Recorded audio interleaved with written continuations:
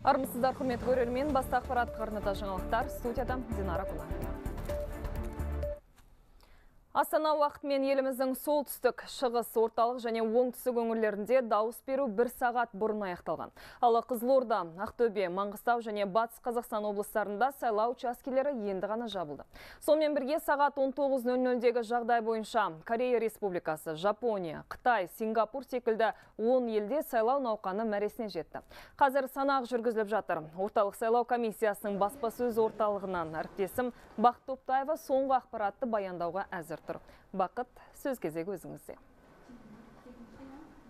Рахмет динара. Расымен баспасөз орталық сайлау комиссиясының баспасөз орталығында таңмен таласа жиналған журналистер таңертеңнен бері әр өңірдегі дауыс беру белсенділігін бағамдап келген еді. Ең бір қызығы түске дейін қарағанды облысы одан кейін бірнеше сағат бойы түркістан облысы дауыс беру белсенділігі жөнінен көш бастаған еді. Ал соңғы ақпарға сәйкес жетісу облысы дауыс беру белсенділігі жөнінен алға шықты. Мұндағы дауыс беруге құқылы азаматтардың 81 проценті таңдау жасаған екен. Сағат 21 20.00 кете орталық сайлау комиссиясы сайлаушылардың 69 проценті бюллетень алғанын жариялады. Дәлірек айтқанда 8 миллион 282 мың 607 азамат саяси науқанға қатысты. Жалпы өңірлердегі дауыс беру белсенділігі жөнінде тағы да тарқатып айтар болса түркістан қызылорда және абай облыстарында дауыс беру көрсеткіші 80 проценттен сәл ғана асады. Сонымен қатар дауыс беру белсенділігі жөнінен қостанай ақмола қарағанды өңірлері жақсы нәтиже көрсетті. Бұл аймақтардағы сайлаушылардың 78-79 проценті өзінің конституциялық құқын іске асырды. Ал енді астана шымкент және алматы қалаларында сайлауға қатысу белсенділігі бөлек есептелген үштіктің көш басында дерлік 60 пайыздық көрсеткішпен шымкент қаласы тұр. Одан кейін 49 проценттік көрсеткішпен астана ал соңғы орында 29 проценттік көрсеткішпен алматы тұр. Дегенмен дауыс берушілердің белсенділігін бағамдау әлі де жалғасып жатыр. Сағат 22.00-де қазақстандағы электорат пен және кейбір шетелдегі учаскелерге келген сайлаушылардың нақты саны айтылатын болады. Орталық сайлау комиссиясы кезектен тыс президенттік сайлаудың алдын ала нәтижесін ертең бүрсігүні ал нақты нәтижесін 10 күннің ішінде жариялайтын болады. Ал экзит пул жүргізген дауыс берудің алдын ала нәтижесі түн жарымда жария болмақ. Ол туралы алдағы шығарылымдарда міндетті түрде хабарлайтын боламыз. Динара мендегі бар ақпар осы. Рахмет. Бақыт. Соңғы ақпармен тікелей эфирге шыққан әріптесім бақыт топтаева болатын. Ақмола облысындағы сайлау барысын мыңдаған байқаушы бақылады. Олардың бір жарым мыңға жуығы партиялық емес байқау орталығының өкілі. Олар аймақтағы сайлау учаскелерінің барлығында жұмыс істеді. Өңірде саяси науқан барысында ешқандай заң бұзушылық анықталмаған. Тек дауыс беру орындарындағы бұқаралық ақпарат құралдарынан басқа тұлғалардың бейне түсірілімдеріне қатысты түсініспеушілік туындағанын айтады. Дегенмен оның бәрі заңнамада ашық, айқын жазылған азаматтық кодексқа сүйенсек 145 бапта жазылған. Мына онлайн трансляция болмайды. Отырып өз өзін мына тікелей трансляция болмайды участокта. Содан кейін жұртты халықты түсіруге болмайды. Оның мана келісім болмай бейнесін түсіруге ал өз өзін түсіруге неге болмас? Кімге бердім қалай бердім дегенді айтуға енді болмайды а бірақ та осындай жергілікті участокта бардым дауыс бердім енді фотоотчет деген сияқты ғой болады мысалы Өскемендегі сайлау учаскелерін қадағалаған байқаушылар өрескел заң бұзушылықтарды байқамағанын айтады. Мұндағы саяси науқан қалыпты жағдайда өткен. Тұрғындардың басым бөлігі таңдауын түске дейін жасаған. Десе де сайлау уақыты аяқталар кезде де келіп өз дауыс бергендері бар.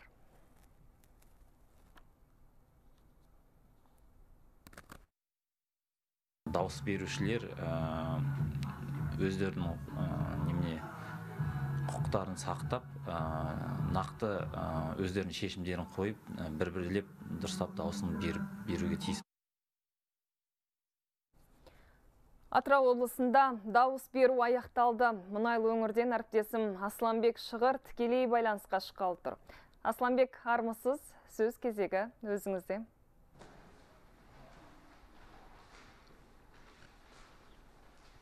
Все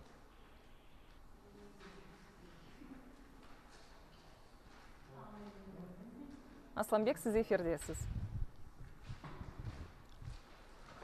кеш жарық астана Ә, біз қазір ә, атырау облысы махамбет ауданының орталығынан тікелей ә, байланысқа шығып тұрмыз. Енді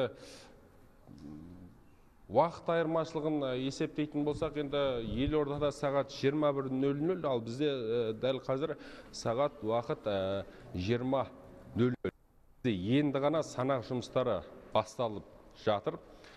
Жалпы енді бізде біз тұрған осы нөмірі 215 сайлау учаскесіне 1132 тұрғын тіркелген болса дәл қазіргі уақытта соның ә, 900-ге жуығы өз таңдауларын жасап дауыс берген.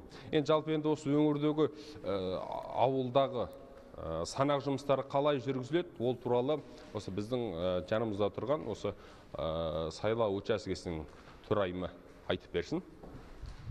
Сөз өзіңізде. 20.00-де Атырау облысы Махамбет ауданы Махамбет ауылының 215-ші сайлау участігінің ә, дауыс беру сайлау кезеңі аяқталды.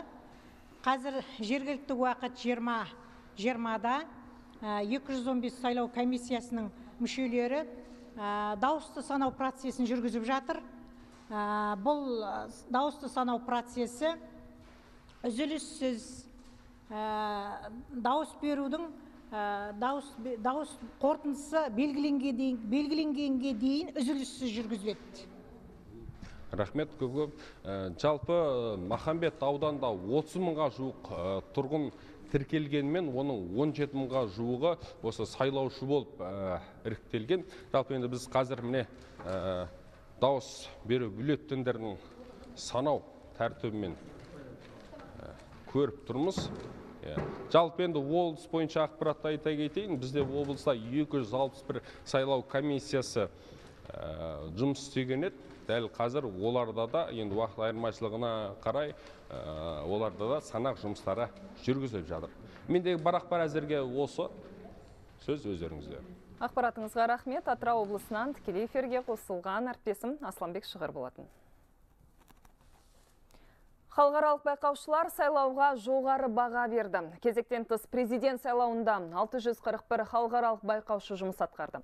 Олар кез келген сайлау учаскесіне кіріп, саяси науқан барысын қадағалады. Меймандар әсіресе қазақстандықтардың белсенділігіне риза. I vama na pozivu. Таңертеңнен бері 8 сайлау учаскесінде болдым. Әріптестеріммен сөйлесіп, сайлаушылармен әңгімелестім. Халық саяси науқанның маңыздылығын жақсы түсінеді. Әсіресе мені қазақстандықтардың белсенділігі таңғалдырды. Халық учаскелерге бала шағасымен келіп дауыс беріп жатыр. Бұл кейінгі өскелең ұрпаққа бала кезінен берілген тәрбие деп түсіндім. Сайлау жоғары деңгейде ұйымдастырылған. Президент сайлауына қатысып жатқан бақылаушылар қатарында Әзербайжаннан 8 адам бар. Ал ел астанасы Бакуде нөмірі 262 сайлау учаскесінде жұмыс істеді. Мұндағы бақылаушылар ешқандай заң бұзушылықтар тіркелмегенін айтады.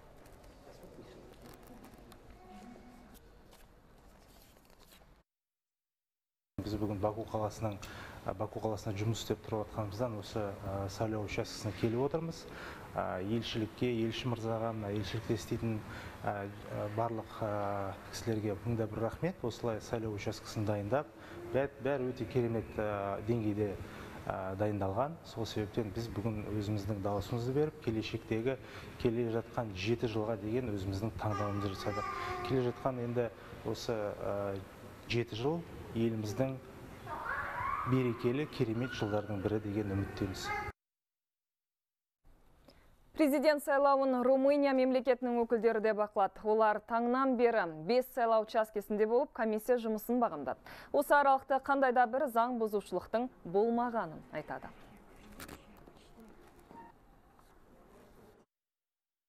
În calitate de vicepreședinte al grupului de Қазақстанның Румыниядағы елшілігінің шақыртуымен сайлауға байқаушы ретінде келдім. Бірнеше сайлау учаскесін араладық. Президент сайлауы барша қазақ ел үшін сәтті өтетініне сенімдімін.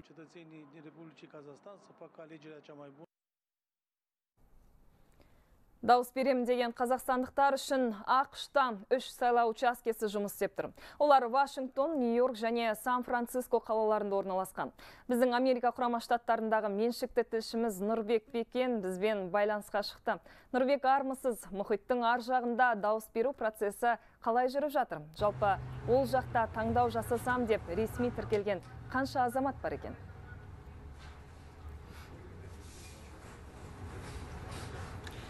Кеш жарық динара.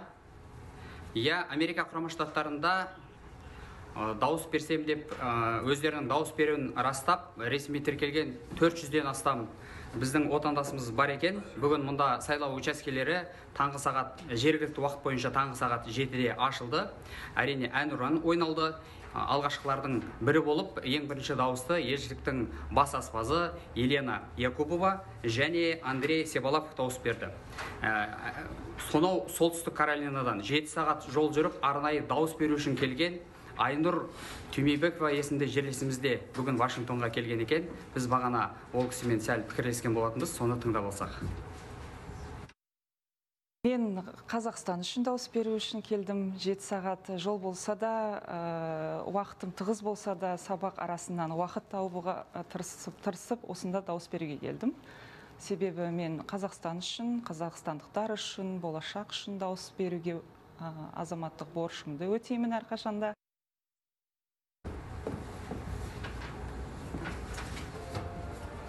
Жалпы мұнда дауыс беру кешкі сағат сегізге дейін жалғасады. Ақшты түрлі себептермен жүрген отандастарымыз белсенділік танытып жатыр. Мұнда оқу оқып жатқан жұмыс бабымен жүрген болашақ бағдарламасының 500 ғалым жобасы бойынша тағылымдамадан өтіп жатқан жерлестеріміз бар. Олар барлығы таңертеңнен келіп өздерінің дауыстарын беріп жатыр. Жалпы вашингтон менен астананың уақыт айырмашылығы 11 сағат яғни вашингтон астанадан 11 сағат артта. Сондықтан әлем бойынша сайлау учаскелері осы ақшта жабылады. Соның ішінде сан франциско астана уақытынан 14 сағат артта. Сондықтан ең соңғы болып сан францискодағы сайлау учаскесі жабылады. Мұнда үш сайлау учаскесі бар. Ол вашингтон қаласында қазақтар ең көп шоғырланған нью йорк қаласында және сан францискода жалпы әлем бойынша ашылған қазақстандықтар дауыс берсін деп ашылған 53 мемлекеттегі 68 дауыс беру учаскесі болса соның үшеуі осы америка құрама штаттарында қазір бізде жергілікті сағат 10 дауыс беру басталғалы 3 сағаттан сәл асты. Біз осында барлық ақпараттарды жинап алдағы уақытта сіздермен бөлісетін боламыз. Ақпаратыңызға рахмет. Америка құрама штаттарынан тікелей қосылған әріптесім Нұрбек Бекен. Ал біз жалғастырамыз. Ақтөбе облысында сайлаушылардың белсенділігі жоғары болды. Бұл туралы партиялық емес байқау орталығының облыстық филиал өкілдері мәлімдеді. Жабық режимдегі орындардан басқа өңірдегі 502 сайлау учаскесінің жұмысын бақылап отырған олар дауыс беру үшін барлық жағдай жасалғанын атап өтті. Облыста Еуропадағы қауіпсіздік және ынтымақтастық ұйымынан келген 16 байқаушы жүрді.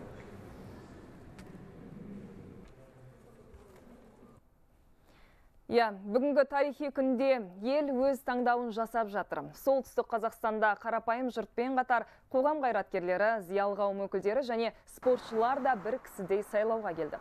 Облыстың құрметті азаматы, ардагер спортшы Жамбыл Тасеменов өзі тіркелген учаскеге отбасымен барып, ел ертеңі үшін дауыс берді. Абыз ақсақал мемлекетіміздің болашағы жарқын болатынына сенімді.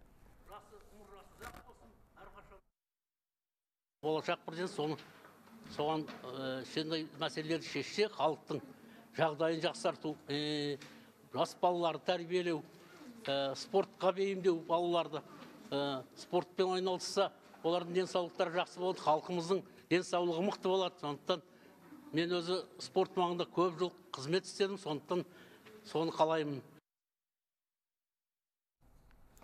Франциядан келген байқаушы алматылықтар сайлауға позитивті қарайды дейді. Францияның халықаралық қатынастар институтының сарапшысы Микаэл Левисан бәрінен де сайлау процесіне жастармен қатар аға буын өкілдерінің де көптеп қатысуы таң қалдырды деді. Бүгін ол Алматыдағы 5 сайлау учаскесінде болған олардың бірі ұлттық кітапханада орналасқан. Баспасөз орталығында сөйлеген сөзінде шетелдік сарапшы мемлекеттің өз болашағына ұмтылып жатқаны анық деді. Сондай-ақ ол Қазақстанда мүмкіндігі шектеулі жандардың сайлау учаскелері учаскелеріне келу үшін барлық жағдай жасалғанын, оның көптеген елдерге үлгі екенін атап өтті.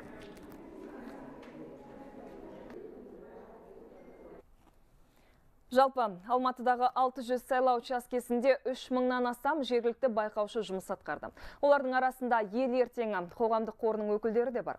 Қоғамдық байқаушылардың басты мақсаты жастардың сайлау процесіне қатысу белсенділігін, олардың саяси сауаттылығын арттыру. Қордың өкілдері қаладағы 531 учаскені қамтыған.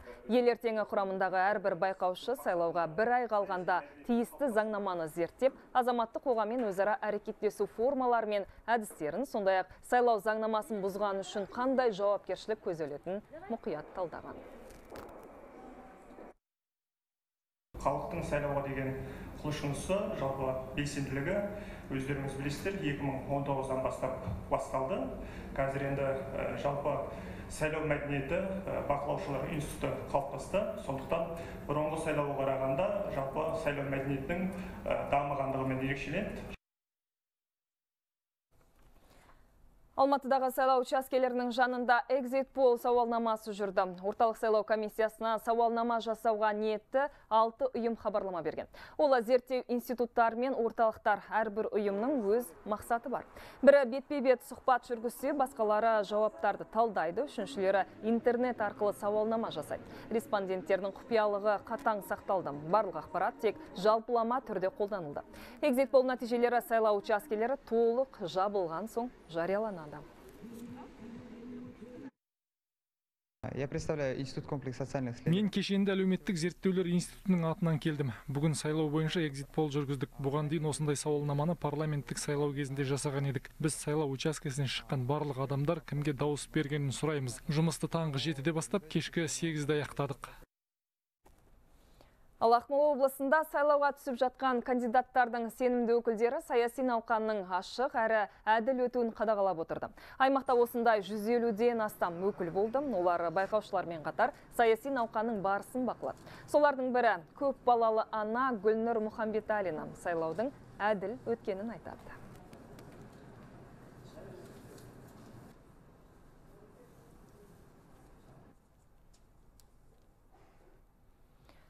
Қытайда қазір эпидемиологиялық ахуал өршіп тұр. Карантиндік талаптар күшейтілген. Алайда соған қарамастан тіркелген сайлаушылардың барлығы бүгін дауыс берген.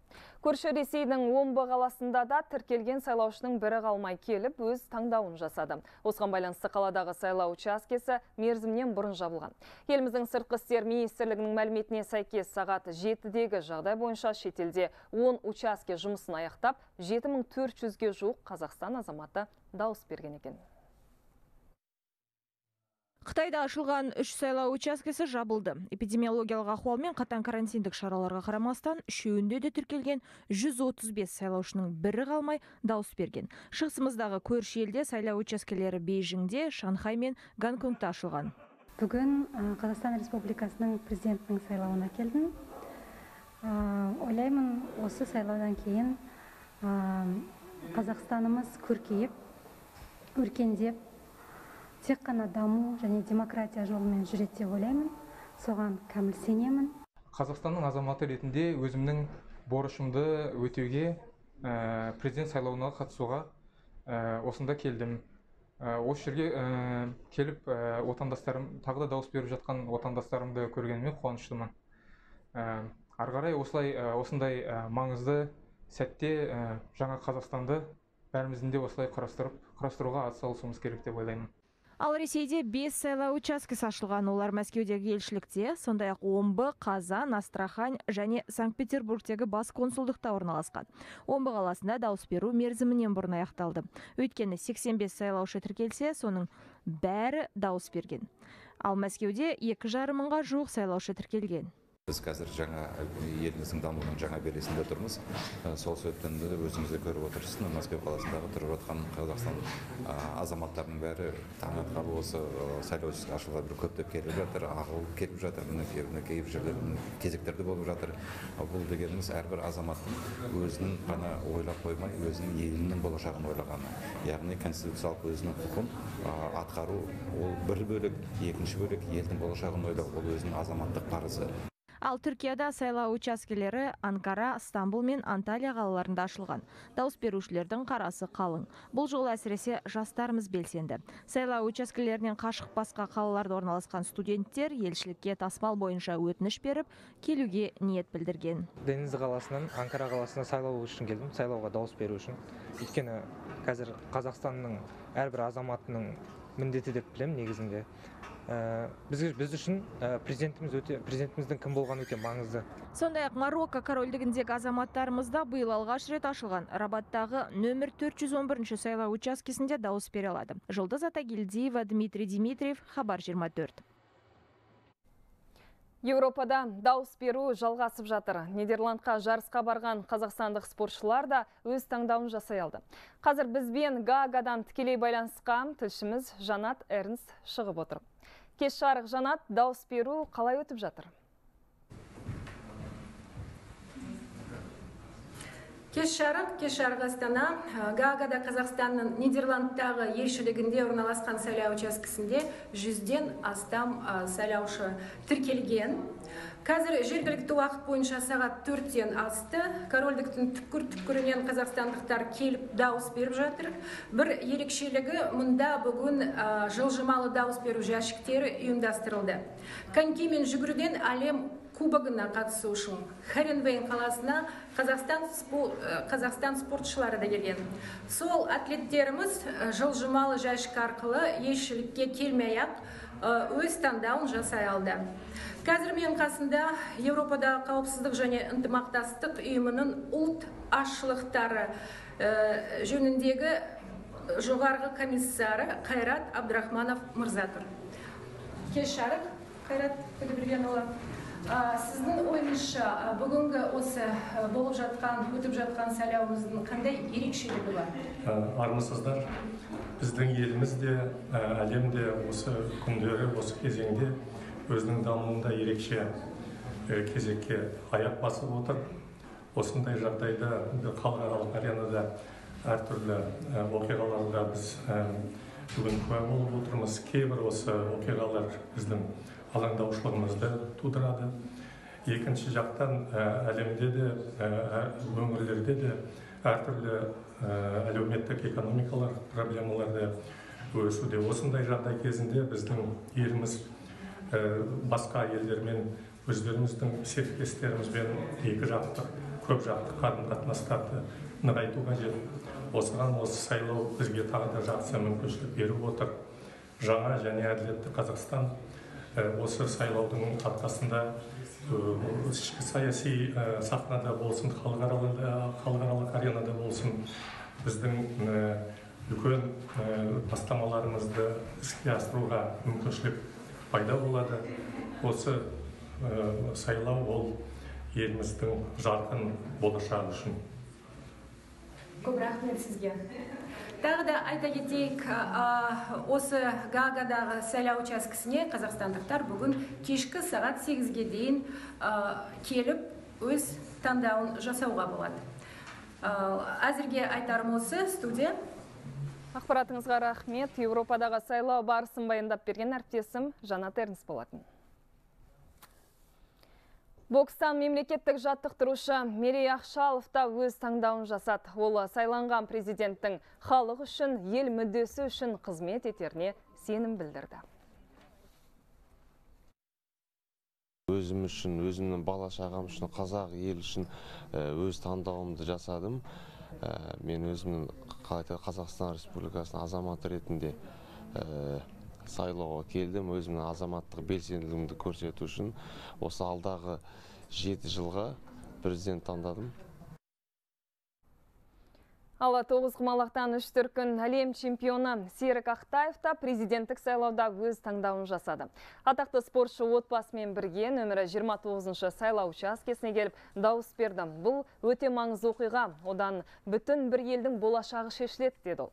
Комиссия мүшелерінің айтуынша аталған сайлау учаскесіне келген тұрғындардың қатары қалың саяси науқанға қариялар да, жастар да белсенді түрде қатысқан. Сайлауға келген адам ол біріншіден саналы түрде өзінің бүгінгі жаңағы несін қабылдады. Менің ойымша шешімін қабылдады. Екіншіден көңіл күйге айтатын болсақ ол енді мерекелі көңіл күй деп ойлаймын халықта. Кез келген мемлекет үшін президент сайлауы тарихи жауапты сәт. Сайлаудан дауыс беру ол өз болашағында айқындау деген сөз дейді. Қазақстанның еңбек сіңірген қайраткері Дулық Ақмолда. Өз таңдауын жасаған өнер иесі көрерменге театрдағы және кинодағы бірегей рөлдері арқылы кеңінен танымал. Егер актер әр кейіпкерінің тағдыры үшін жауапты болса, мемлекетке басшылық ететін адам ел тағдыры үшін жауапты. Сондықтан сайлаудан халық қалыс қалмауы тиіс дейді бүкіл қазақстан халық үшін бүгін бір өте жауапты күн сындарлы сағат деп есептеймін. Өзімнің кандидатыма дауыс берген кандидатыма президент болған жағдайда үлкен сәттіліктер тілеймін. Бұл оңай емес халықтың үлкен аманатын арқалатып отырмыз. Шымкентте дауыс беруге бір отбасының мүшелері түгел келді. 80-нің сеңгіріне шыққан Мұхан Атай мен Дариға Әжей сайлауға бейжай қарамай әр адам өз таңдауын жасау керек дейді. Сондықтан ұл қыздар мен келіндерін ертіп ала келді. Саналы ғұмырында барлық саяси науқаннан қалыс қалмаған қариялар жастарға осылайша үлгі көрсетуді ойлаған. Аймақта жас отбасылар мен өзге ұлт өкілдері де конституциялық құқығын пайдаланып белсенді дауыс берген шынында халықтың жұрттың көпшіліктің осы сайлауға қатысып толық дауыс беру өте керек нәрсе. Халықтың ойын пікірін байқау қалай келешекке деген ықылас ниетін білдіреді. Бұл деген өте маңызды нәрсе. Міне осы сайлау күніне үлгі болсын өнеге болсын жастарға тәртібіміз өзіміздің үйренген тәртібімізді келешекке қалдырайық деп. Отбасымызбен келдік бала шағамызбен келінім ұлым мінекей ата төртеуміз келіп отырмыз. Иә, өңірлерде сайлау учаскелеріне келіп, өз таңдауларын жасаған жұртшылықтың қарасы қалың болды. Оның ішінде ғасыр жасаған әжеден бастап, 10 келінімен сайлауға келіп дауыс беріп жатқан жанұялар да болды. Саяси науқанға ел азаматтары белсенді қатысты. Мәселен, Ақтау гарнизонына қарасты әскери бөлімдердің 7 мыңға жуық жауынгері өз таңдауын жасады. Сарбаздардың басым көпшілігі алғаш рет дауыс берді кезектен тыс президенттік сайлауына қатысып өз дауысымызды бердік. Бүгін біздің еліміз үшін тарихи күн. Себебі еліміздің болашағы берген әрбір қазақстандықтың дауысына байланысты болады. Тәуелсіз еліміздің жарқын келешегіне сенеміз. Ал Жетісу облысының еңбекші ауылдық округінде алғашқылардың бірі болып ғасыр жасаған әже дауыс берді. Мануар Тесебаева 100 жаста. Ол екінші дүниежүзілік соғыс кезінде Қарағандыдағы шахталардың бірінде бұрғылаушы болып ауыр жұмыс атқарған. Еңбек қызыл ту орденінің иегері 9 баланы дүниеге әкеліп, 28 немере 25 шөбере сүйіп отыр. Қазақстанның болашағы мол болсын, көп болсын, жақсы болсын. Тарас шақарындағы сайлау учаскелеріне жастар көп келді. Солардың қатарында егіздер Нұрбол мен Ербол да бар. Екеуі де студент, болашақ IT маманы. Олар егіз болғанымен әрқайсысы өзі шешім қабылдап таңдауын жасады. Жалпы өңірде 493 сайлау учаскесі тіркелген. Оның 125-і Тараз қаласында орналасқан өзімнің қазақстанға деген үлесімді қосқаныма өзімнің қазақстан деген еліме өзімнің таңдауымды жасағаныма өте қуаныштымын деген ойдамын. Әрине енді қазақстанда 19 миллион халқымыз бар 19 миллион халқымыздың ішінде оның төрт жарым миллионы егіздер деген санатта. Егіздер. Мен де сол егізіммен бірге бүгін әділетті қазақстанға құру үшін әділетті қазақстанды бастау үшін егізіммен бірге дауыс беруге келдім. Қызылорда облысында еңбек ардагері сайлауға 10 келінімен бірге келді. Шейіл ауданына қарасты Ақтоған ауылында тұратын Бақтығүл Сейтжанова 11 құрсақ көтерген батыр ана. Әулеттің дәулеті мен сәулетін асырған инабатты келіндер қаз қатар тізіліп, өнегелі енесінің артынан еріп кезекті саяси шараға белсенді қатысты. Әл-Фараби Серіков аймақтық тілшілердің көмегімен хабар 24.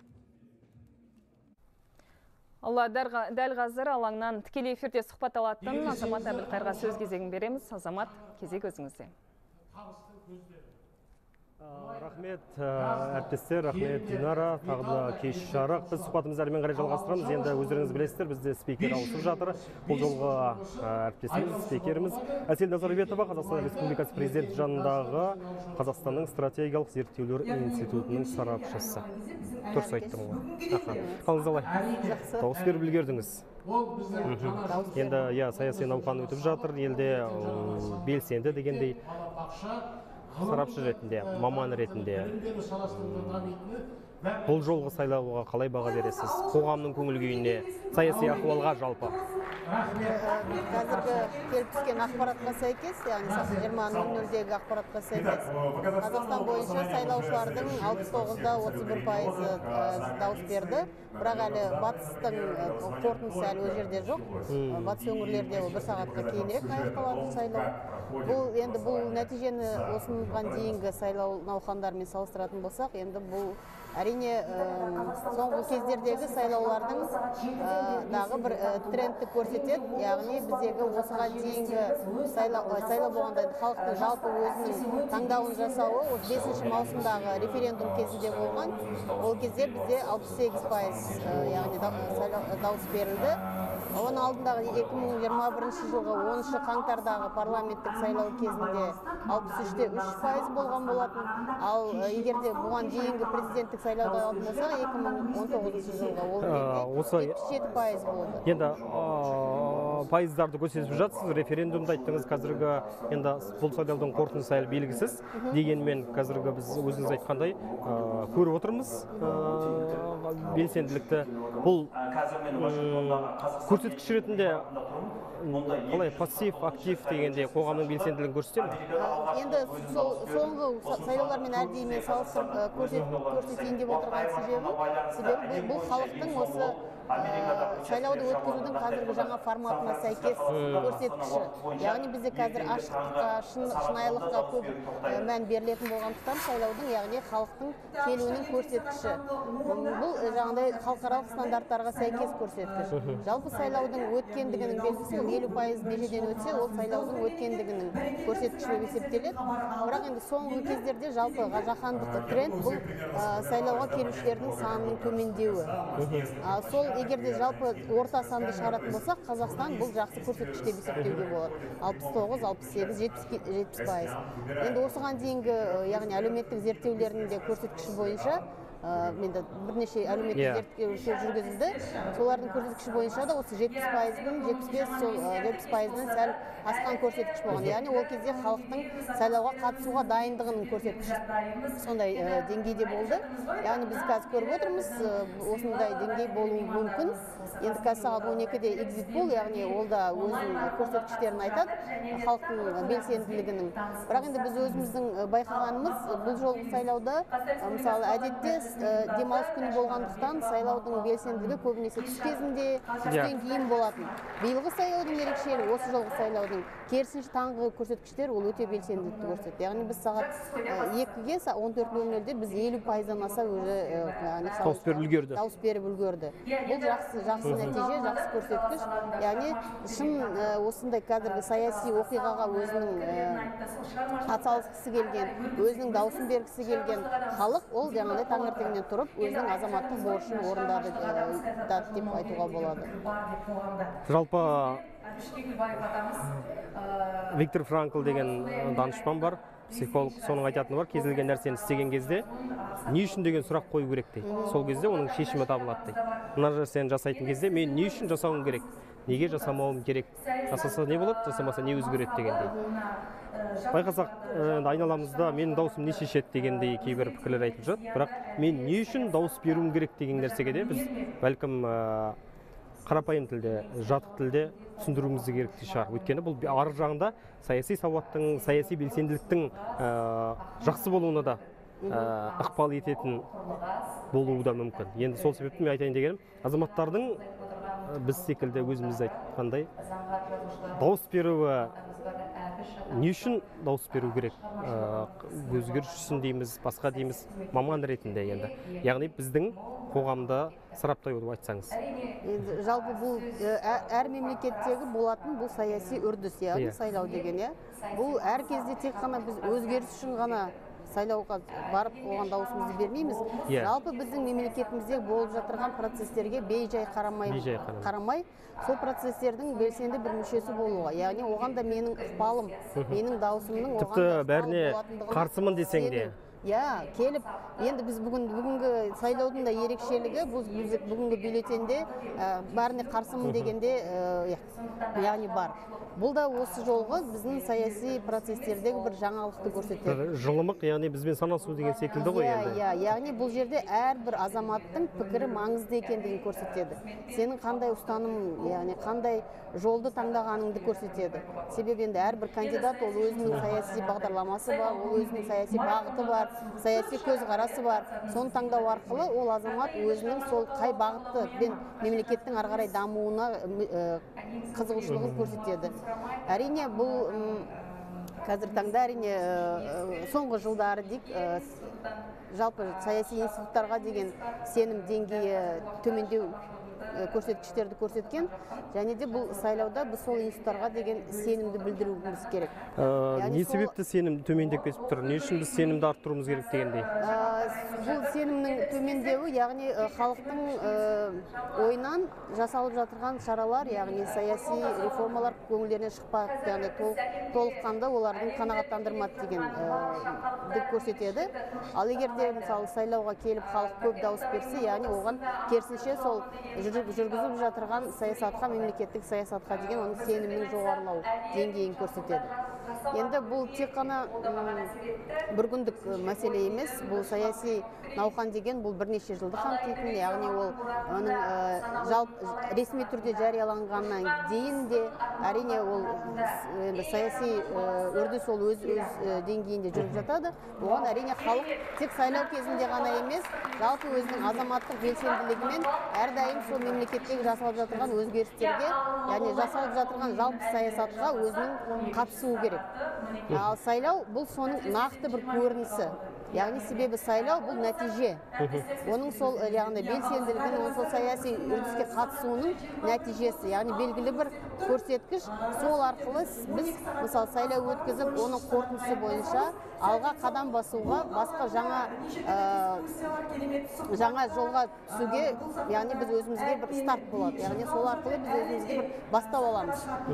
Яғни мемлекеттік бұл бүгінгі сайлаудың ерекшелігі бұл мемлекеттің басшысының сайлауы яғни президент сайлауы бұл мемлекеттегі ең жоғары тұлға ең жоғары дәрежедегі тұлға яғни сол мемлекеттегі шешім қабылдайтын сол мемлекеттің стратегиясын жалпы мемлекеттің саясатының бағыттарын анықтайтын лауазым сондықтан да бұл сайлаудың да маңыздылығы жоғары. Президент сайлауының ал халық бұл сайлауға қатысу арқылы сол тұлғаға деген өзінің яғни сенімін білдіреді сенім деңгейін. Сол біріншіден сол кандидаттың сайлау алды тұғырнамасында қойылған деген сенім деңгейі яғни ол қаншалықты оның көңілінен шығады? Ә, мен сенім артқан ә, кандидат жеті жылда ә, мен ойлағандай біз ойлағандай реформаларды іске асырып үлгере ме жеті жыл көп емес пе аз емес пе? Жалпы жеті жыл бұл жаңалық емес. Өйткені әрине тмд мемлекеттері үшін орталық азия үшін жаңалық дегенмен бұл басқа мемлекеттерде де болды. Енді тап бізге келген кезде ә, жаңа сіз айттыңыз ғой әрине сөзіңізбен келісемін өйткені саяси реформалар саяси өзгерістер ол бір күннің шаруасы емес тіпті үш төрт жылдың да шаруасы емес. Осы ретте жеті жылдықтың артықшылығы біздің қазақстанның ә, ендігі жаңа бетбұрыстар кезеңіндегі қандай ықпалы бар сол жеті жылдық жөнінде айтып жіберсеңіз енді қазіргі таңдағы жалпы яғни тарихи яғни дамудың уақытын қарайтын болсақ біз қазір өте тез дамып отырған яғни кезеңде өмір сүріп отырмыз дәуірде өмір сүріп отырмыз. Сондықтан жеті жыл дегенде бұл өте бір толыққанды сол мемлекеттің дамуында өзгерістер жасау үшін трансформация жасау үшін жеткілікті деп яғни бұл сарапшылардың болжамшылардың есептеу бойынша бұл жеткілікті меже яғни жеті жыл деген. Енді біз осы уақытқа дейінгі тәжірибемізді қарайтын болсақ яғни бес жыл. Ә, кеңестік дәуірде де мысалы бізде бес жылдық жоспар деген болды иә мемлекеттік Иә, иә, бес жылдықтар болды, егістік біз, білеміз ол бес жылдың ә, ауқымды жоспарларды ауқымды жобаларды жүзеге асыру үшін жеткіліксіз екенін жеткіліксіз оның аяғы науқаншылық қалып иә келеді оның айқа- аяғы науқаншылық яғни ол жаңағыдай көрсеткіштерді бұрмалау деген сияқты нәтижелерге алып келді яғни. Сондықтан да жеті жыл бұл бір үлкен ауқымды іс шара жүргізіп бұл енді жеті жыл бағдарламаларды жүзеге асыру үшін жеткілікті уақыт және жеті жыл дегенде бұл бір бір бір реттік егерде президенттік жаңағыдай сайлау. мерзімді алатын болса. сонысымен де ерекше. Енді біз енді сөздің шыны сіздің сөзіңізден аңғарғаным жеті жыл деген бір әлдебіреу айтқандай ол санның қасиеттілігіне түк қатысы жоқ. Ол жылдар бойы тәжірибемен әбден пісіп келіп болжамдар яғни яғни бұл жерде президентіміздің кеше өзі айтты ғой енді қазір енді сайлауға түсіп жатыр. Жалдамалы менеджер. Жалдамалы менеджердің ойын реформасын әлеуметтік пакеттерін жүзеге асыруына толық мүмкіндігі бар. Сол ішінде. Және ол екінші рет сайланбайды яғни ол барлық өзінің күш жігерін сол жеті жылдық бір мерзімге салады. Яғни барлық өзінің алдына қойылған міндеттерді сол бір мерзімнің ішінде толыққанды орындап шығуға өзінің берген уәдесін орындауға барлық яғни тәжірибесін барлық білімін біліктілігін сол яғни басқарушылық өнерін соған салады. Сайлауды айттық. Сайлаудағы азаматтардың борышына тоқталдық. Бұнымен яғни былайша айтқан кезде 2022 жыл біздің саяси қоғамдағы әлеуметтік көңіл күйімізге тіпті мәдени бетбұрыстарымызға да біраз ықпал етті.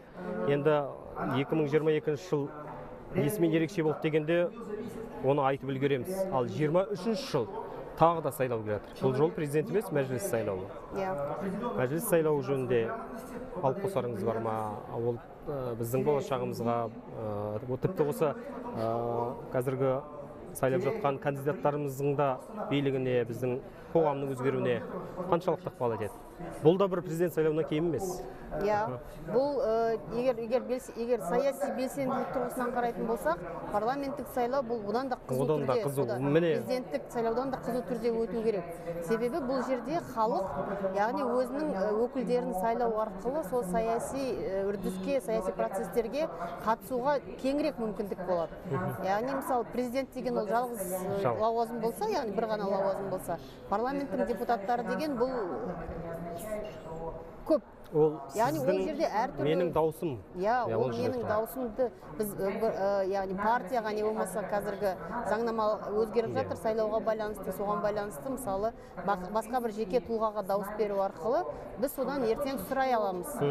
Сен менің даусымды қалай пайдаландың парламентке барған кезде деп. Сол үшін бұл енді қазіргі бүгінгі сайлау э, халықтың сол саяси мәдениетінің қалыптасуына біріншіден ықпал етеді дейміз. Яғни ол өзінің нәтижесі ол халықтың э, сенімін яғни саяси институттарға деген одан одан да жауапкершілігінің жоғары екендігіне өз дауысын беру арқылы соған деген сенімі э, жоғарылайды. Яғни ары қарай да осы мемлекеттегі өтіп жатырған жасалып жатырған өзгерістерге өзінің ықпалы бола алатындығына яғни сенім ақталу үшін Иә. ықпалды болу үшін саяси сауат керек саяси белсенділік керек. Сөзіңіздің белсенділік керек саяси сауат керек. Рахмет. Қадірлі көрермен бізбен сұхбаттасқан әсел назарбетова қазақстан республикасы президенті жанындағы қазақстанның стратегиялық зерттеулер институтының сарапшысы. Рахмет әсел ханым. Қадірлі көрермен біздің сұхбатымыз осымен тәмам. Әріптесімізге берейік. Динара біздің сұхбатымыз осымен тәмам өзіңізде қандай жаңалық бар? Рахмет азамат. Біз жаңалықтарымызды жалғастырайық.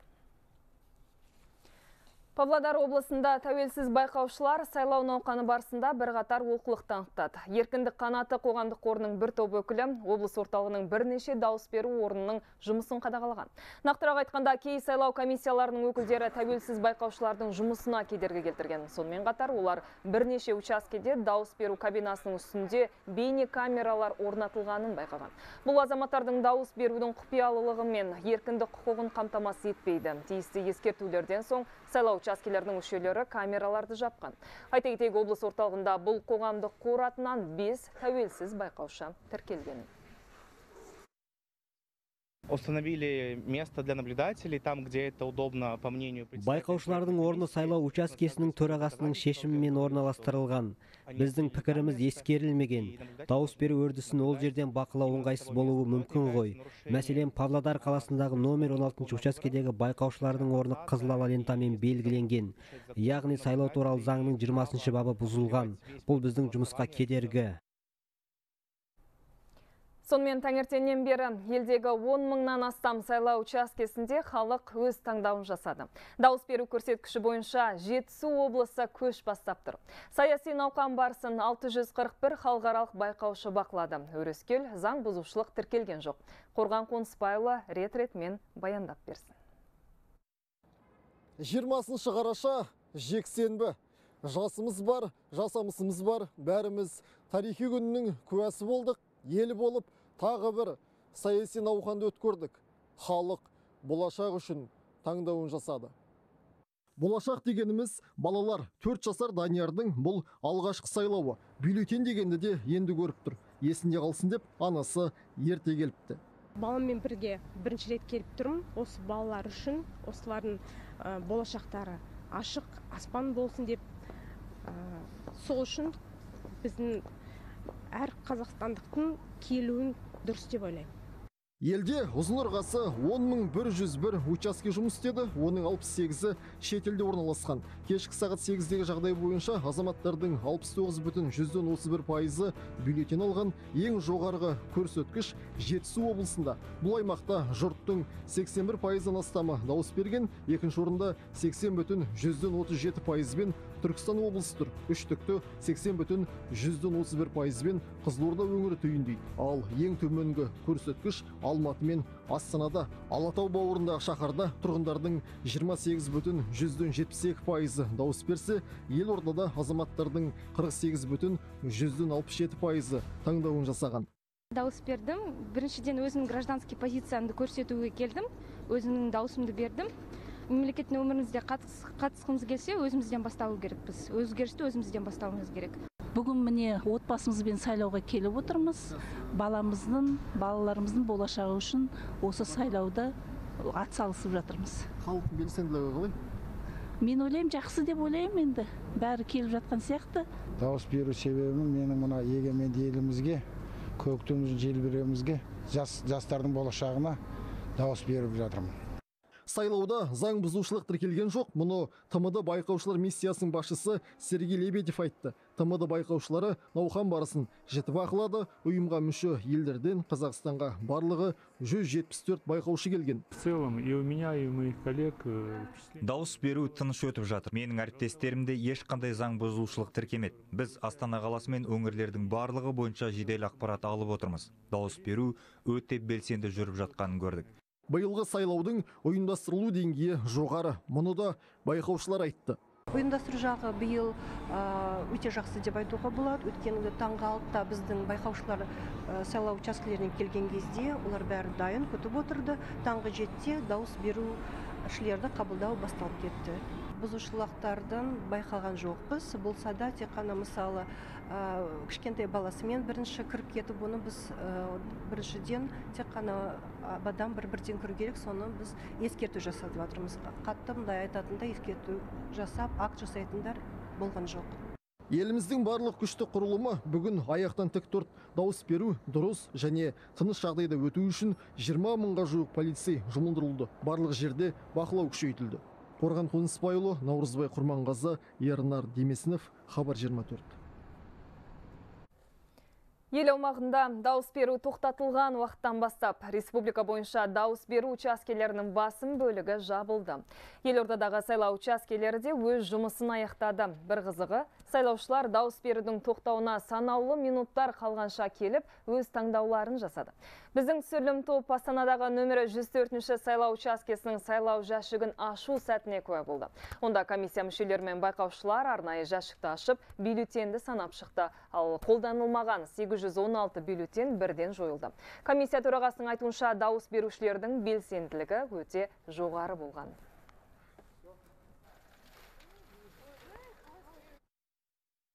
Негізі бізде 2202 адам тіркелген тізім бойынша біздің алған тізіміміз бойынша. Жеті адам денсаулығының жарамсыздығына байланысты бізге өтініш түсірді. Осы жеті адамға біз сайлау жәшігін үйіне жеткіздік. Және де олар сол үйден шықпай дауыс беруге мүмкіндік жасадық. Еліміз бойынша сайлау науқаны кезінде заңды бұзған төрт адам әкімшілік жауапкершілікке тартылды. Бұл азаматтар заңсыз митингке шығуға шақырған. Тағы 15 адамға әкімшілік хаттама толтырылып сотқа жіберілді. Бұл туралы орталық коммуникациялар қызметінің алаңында әкімшілік полиция комитеті төрағасының орынбасары Жандос Мұраталиев айтты. Ал бас прокуратура органдарына дауыс беру басталғалы небәрі үш өтініш түсіпті. Оның біреуі Астана, қалған екеуі Ақтөбе мен Ақмола облыстарында тіркеліп отыр. Бас прокуратураға келіп түскен өтініш ішкі істер министрлігіне жолданды. Себебі онда өтініш иесі жариялы түрде ұлттық алауыздық қоздыру фактісі бойынша шара қолдануды сұраған. Екінші өтініш көкшетау қаласының тұрғынынан дауыс беру тәртібін түсіндіру жөнінде ақмола облысының прокуратурасына келіп түсті. Тағы бір өтініш ақтөбе қаласы астана ауданының прокуратурасына түсті. Онда ол нөмірі 64-ші сайлау учаскесіндегі дауыс беруге арналған үй жайдан негізсіз, негізсіз шығарылғанын көрсеткен.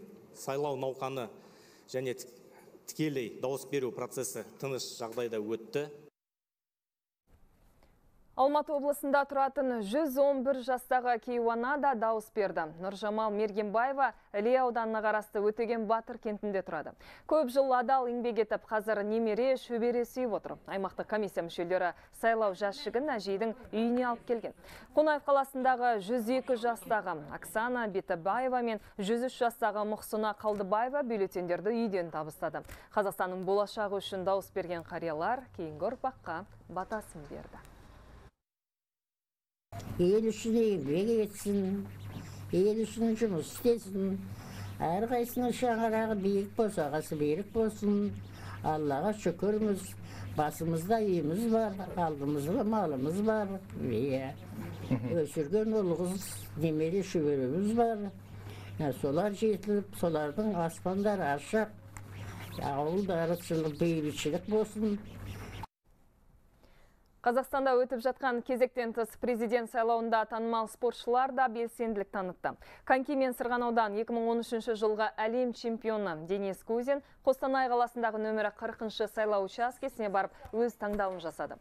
Дауыс беру жәшігіне бюллетенін салған спортшы бұл саяси доданың еліміздің әрі қарай дамуында маңызды қадам екенін атап өтті. Я считаю, что сегодняшний день әр адам өз ойын пікірін болашағын осы сайлауға қатысып білдіру мүмкіндігіне ие. Оның іске асуын да тілейді. Мен де соның бірімін. Осыған дейін қаншама сайлау өтті соның бәріне қатысып келем. Ал Олимпиада чемпионы Ольга Рыпакова өскеменде дауыс берді. Саясат та үлкен спорт сияқты. Онда ұжымдық жұмысқа үлкен мән беріледі. Мемлекеттің болашақтағы дамуы сол ел тұрғындарының саяси көзқарасы мен дұрыс таңдай жасай білуіне тікелей байланысты дейді спортшы. Ольга Рыпакованың 18 жастағы қызы Анастасия жеңіл атлетикадан өткен ел біріншілігінде жеңімпаз атанды. Өзінің туған отанындағы саяси додадан тыс қалмайын деп Түркияда дауыс беріп жатыр. Қазір ол шетелде оқу жаттығу жиынында жүр. Члены моей семьи сегодня придут. э, Отбасы мүшелерімнің барлығы сайлауға қатысуда өткені бұл біз үшін өте маңызды күн. Қызым биыл 18-ге толып ең алғаш рет сайлауға барды. Дұрыс таңдау жасады деген ойдамын. Отандастарымды қалыс қалмауға және саяси додаға белсенді қатысуға шақырамын. Сайлау күні Қызылорда қаласында жаңадан 30 шақты жас шаңырақ көтерді. Неке қию салтанатынан бұрын дауыс беруге қол ұстасып келген Ербол мен Әйгерім сайлау учаскесін сәнге бөліп кетті. Қалыңдық пен күйеу жігіт осылайша келешекке деген қадамын елдік шарамен байланыстырып отыр. Өзге дауыс беруші аға буын өкілдері жаңа отау тіккен жастарға алғысын айтып, бата беріп жатыр. Қуаныштымын. Бұл күні еліміздің болашағы үшін де өзімнің болашағым үшін де өте таңдаулы күн болып тұр. Ә, жалпы той шаруасымен қарбаласып жатсақ та бүгін келіп ел болашағы үшін таңдауымызды жасадық. Еліміз өркендей берсін. Еліміз үшін таңдаулы күнде келіп өз таңдауымызды жасадық. Ә, бүгінгі күнмен біздің тойымызбен сәйкес келгеніне өте қуаныштымыз. Әзірге айтарымыз осы. Бізден тың ақпарат күтіңіздер. Арна қосулы болсын.